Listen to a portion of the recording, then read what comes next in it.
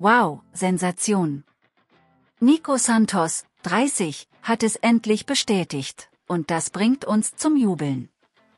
Der Star, der 2017 mit seinem Hit Rooftop international durchstartete, hat bisher sein Privatleben geheim gehalten.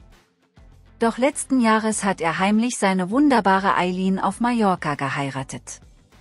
Vor einigen Tagen gab es erste Gerüchte, dass die beiden Turteltauben bald Eltern werden könnten. Und jetzt, endlich, hat sich Nico persönlich zu Wort gemeldet.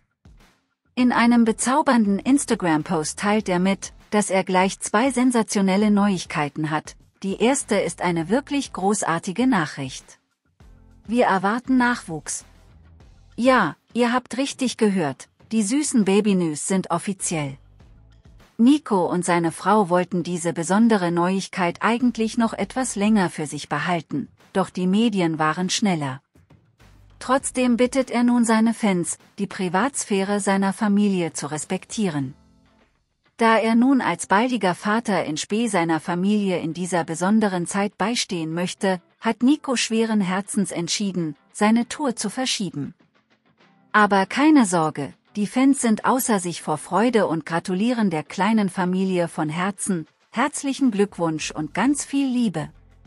Wir verstehen eure Entscheidung vollkommen und freuen uns umso mehr auf den Herbst und alles Liebe für eure kleine Familie. Für solch eine wundervolle Nachricht verschiebt man doch gerne die Tour, sind nur einige der begeisterten Kommentare unter seinem Statement. Wir freuen uns von Herzen für Nico und seine Frau und können es kaum erwarten, das süße Familienmitglied willkommen zu heißen.